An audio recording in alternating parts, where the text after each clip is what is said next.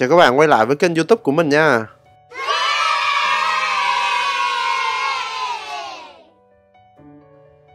Hôm nay à, lại có video về Abai để khoe với các bạn đây các bạn.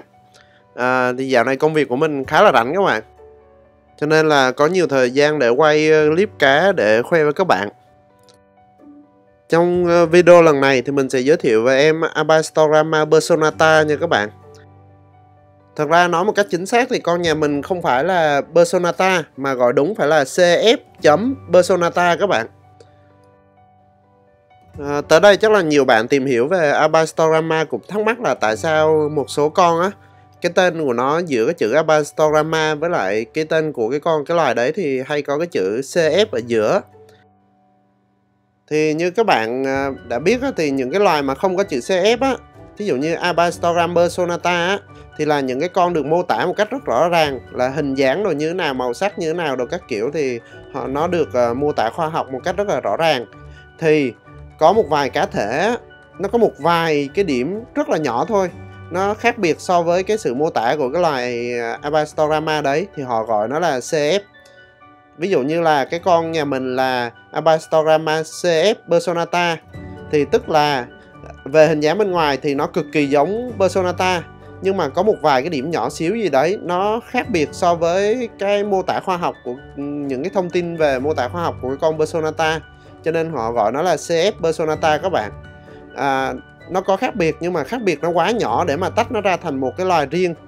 Cho nên là gọi nó là CF Personata thì một số cái sách nhật mà mình tham khảo á thì họ ghi là thường á thường những cái con mà có chữ CF á ví dụ Abastorama CF Personata á thật ra nó cũng là Personata thôi nhưng mà nó được đánh bắt ở cái khu vực khác. Cho nên là về hình dáng nó có một chút điểm gì đấy nó khác biệt so với cái loài chuẩn được mô tả trong ờ, các cái tài liệu khoa học của các bạn. Thì nãy giờ trên video các bạn coi là cái con trống của nhà mình còn đây là hình dáng của con mái nè các bạn. Con mái của cái dòng ờ, Personata thì người nó có một cái màu vàng vàng à, nhìn giống như là nó đang chuẩn bị vào cái mốt sinh sản đó các bạn. Nhưng mà thật ra là cái con này nó đặc biệt cái người nó nó cái con cái màu vàng vàng vậy chứ thật ra nó cũng chưa phải là vào sinh, mốt sinh sản đâu các bạn. Cái con trên hình là mình đang quay nó vào thời điểm bình thường đó các bạn. Còn đây là cái con trống và con mái nhà mình khi mà mình thả gương vào cho tụi nó khè. Cái con trống nhà mình thì nó cũng mình nghĩ nó là nó mắc sai rồi các bạn. Nó to gấp đôi cái con mái nhà mình luôn các bạn à, còn cái con máy thì nhìn hình dáng thì cũng khá là giống con trống các bạn có thể thấy đó. Về hình dáng ờ, bề ngoài thì con máy con trống và con máy nó khá là giống nhau. À, tuy nhiên là cái con máy thì kích thước nó nhỏ hơn và vây rồi nó dựng không có dài được bằng con trống.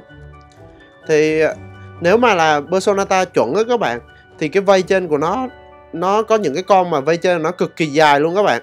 Cái con Personata này nè nếu mà những cái con nào mà xuất sắc á là cái vây trên nó dài khủng khiếp luôn. Dài như là cha phát seater rồi vậy đó các bạn. À, nhưng mà cái con nhà mình thì cái con trống nhà mình thì nó được cái mập thôi chứ cái vây trên của nó cũng không phải là xuất sắc hay là dài lắm các bạn.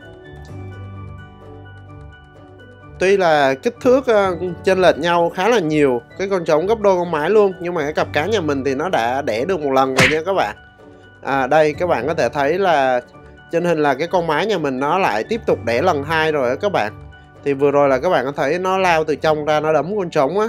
Thì tại vì là nó vừa mới đẻ trứng và nó đang châm trứng ở trong cái hốc phía sau cái tảng đá các bạn. Và khi mà nó đẻ trứng thì nó giữ lên và nó, mặc dù con trống thì to gấp đôi nó nhưng mà nó đấm con trống không trượt phát nào luôn các bạn. Thì cái con ờ, Personata này á à, mình cũng đã cho nó sinh sản thành công rồi nha các bạn. À, lúc mà mình bắt đầu nuôi á thì mình tìm hiểu tài liệu về nó thì rất là ít tài liệu luôn các bạn kể cả các cái web nước ngoài. Tuy nhiên là cái việc cho nó sinh sản lại dễ hơn là mình tưởng các bạn. Con Personata này thì các bạn hạ pH từ từ bằng cách dùng các cái vật liệu lọc than bùn như là của Ehem chẳng hạn á thì pH nó hạ xuống dần dần dần tới cái mức khoảng dưới 5.0 á, khoảng từ 4.5 đến 5 á thì nó sẽ bắt đầu có dấu hiệu nó sinh sản các bạn. Thì đây mình sẽ quay cho các bạn coi năm cái con cá con của nó mà mình còn giữ lại à, của cái đợt nó đẻ trước á các bạn. Còn anh chị em của tuổi này thì mình đã thanh lý hết rồi nha các bạn. Chỉ còn giữ lại năm con để nuôi chơi cho vui thôi. Tại vì nó đông quá mình cũng không có bể để mà nuôi á các bạn. Còn đây là lứa cá con của lần này nó vừa mới nở này các bạn à, thì à, sau hai ba ngày cá mẹ nó giữ trứng ở trong cái ổ đẻ của nó thì ờ, hôm nay nó đã dắt cả con ra ngoài cả con đã nở rồi các bạn rồi dắt nó dắt cả con ra ngoài đi kiếm ăn rồi các bạn. Thì như nãy mình có nói á tại cái con ờ, Personata này cái con mái của nó cái màu nó cứ vàng vàng á các bạn. Cho nên là khi mà nó vào mốt sinh sản á thì các bạn cũng khó nhận ra nó đã vào mốt sinh sản lắm các bạn. Tại cái bình thường cái màu cơ thể nó đã vàng rồi các bạn. À, cho nên là thỉnh thoảng nó vào mốt sinh sản bạn cũng không có nhận ra đâu. Như cái con nhà mình á thì mình để ý kỹ mình thấy nó cứ chui ra chui vô trong cái ổ đẻ nó bảo vệ và nó đóng cái con cá trống thùng thụp á. Thì lúc đấy mình mới biết là nó đẻ các bạn. Chứ còn bình thường thì người nó cũng hơi vàng vàng vàng nên là cũng khó phân biệt nó vào mốt sinh sản lắm các bạn ngoài ra nãy mình có nói á, thì Personata nó thích pH thấp nha các bạn. À, không giống như một số loài khác như chai Fasciator này nọ thì pH cao nó vẫn đẻ được. Còn bạn mà muốn ép đẻ Personata thì các bạn hạ pH xuống từ từ từ từ cho nó tầm từ 4.5 đến 5.0 thì nó sẽ đẻ các bạn. À, như cái cặp nhà mình á thì mình cái bể này của nhà mình á thì pH nó khoảng à, 5.0 các bạn. Bể này thì chắc mình nghĩ là pH 5.0 mình thì mình đang dùng cái vật liệu lọc hạ pH của Ehem á. Cho nên là mình vừa để đấy được một vài ngày nó đẻ rồi các bạn.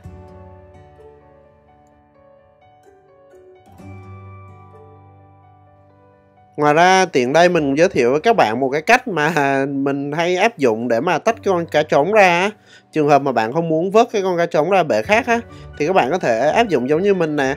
À, làm một cái vách ngăn rồi ngăn cái con cá trống với con cá mái ra là được các bạn à, như trong bể này thì các bạn có thể thấy là mình à, sau khi nó đẻ xong á thì cái con mái nó rất là dữ tại vì nó sẽ giữ trứng giữ con của nó nên rất là dữ thì nó sẽ dí con cá trống nó đấm liên tục á. Thì nhiều cái con cá trống mặc dù nó to nhưng mà cái con cá mái lúc đó nó dữ quá là con con cá trống nó cũng sợ các bạn. Thì mình đã làm một cái vách ngăn và mình chỉ cần ngăn cái bể ra như vậy thì cái con cá trống nó sẽ ở bên trái còn con cá mái nó ở bên phải à, các bạn có vừa thấy là cái con cá mái nó vẫn lao ra để nó dọa con cá trống các bạn. Liên tục nó lao ra luôn. À, nhưng mà do có cái vách ngăn rồi thì nó chẳng làm gì được con cá trống rồi các bạn. Thì các bạn có thể ngăn bể ra như vậy nè. Thì ừ, có thể nuôi chung tụi nó trong cùng một bể luôn. Chẳng vấn đề gì hết luôn các bạn. Và chẳng cần phải vớt ra hay gì cả. À, như trong cái bể này á, thì à, à, bên trái là mình đang nuôi cá trống cùng với năm cái con cá con mà, của lứa trước mà mình còn giữ lại để mà mình nuôi trong cái lồng cách ly á các bạn. Đó, các bạn nhìn thấy cái lồng cách ly ở phía trên đó. Thì mình đang thả năm con cá con, còn lại là bên trái là con cá trống, bên phải là con cá mái và cái đàn con mới nở của nó. Bằng cách này thì các bạn có thể tiết kiệm được ờ, bể nuôi trong ờ, à, trường hợp mà bạn không có bể để mà tách cá trống đó các bạn. Đồng thời các bạn mua cái lồng cách ly giống như mình đặt lên á rồi thả cá con vào nuôi giống như mình á thì hoàn toàn có thể nuôi chung cá con lúc mà nó nó lớn lớn lên một chút rồi các bạn. À, bạn có thể nuôi riêng trong lồng cách ly như vậy để đảm bảo cá con nó luôn khỏe mạnh đó các bạn. Tại à, mình cũng từng có làm video chia sẻ với các bạn là nhiều lúc cái con à, cá, cái cặp cá nó đẻ trứng quá dày á, thì cái cá con nó cỡ cỡ khoảng này nè, thì nó sẽ đẻ tiếp á, thì cái con cá bố mẹ nó lại ăn hiếp cá con á các bạn. Bình thường thì nó chăm, nhưng mà nếu mà nó đẻ trứng tiếp, cái lứa tiếp theo á, thì nó sẽ đuổi nó đánh tụi này á các bạn. Cho nên các bạn cho vào lồng cách ly như vậy là an toàn, chả ai làm gì được nó hết mà nó cũng khỏe mạnh nữa. Cứ thả Artemia vào là nó ăn và nó lớn dần thôi các bạn ngoài ra cái vách ngăn này thì nếu mà bạn ở Việt Nam thì mình cũng không biết là kiếm ở đâu nhưng mà ở Nhật á, thì các bạn mua ở 100 yên các bạn shop 100 yên á cực kỳ rẻ luôn. Nên bạn nào ở Nhật mà muốn hỏi mua cái này ở đâu đồ đó thì mình hôm nào mình rảnh thì mình ra mình quay video mình chỉ cho. À, mình chỉ mua ở 100 yên về thôi và mình bỏ vào thôi. Nó cực kỳ đơn giản luôn các bạn chẳng cần phải làm gì cầu kỳ hết.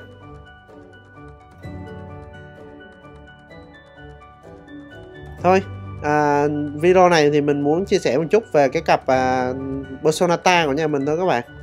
À, xin chào và hẹn gặp lại các bạn trong các cái video khác trên kênh youtube của mình nha. Nếu có bất kỳ câu hỏi gì về dòng Phượng Hoàng Hoang dã Bystorama thì cứ để lại câu hỏi bên dưới mình sẽ cố gắng giải đáp cho các bạn. Chào và hẹn gặp lại các bạn nha.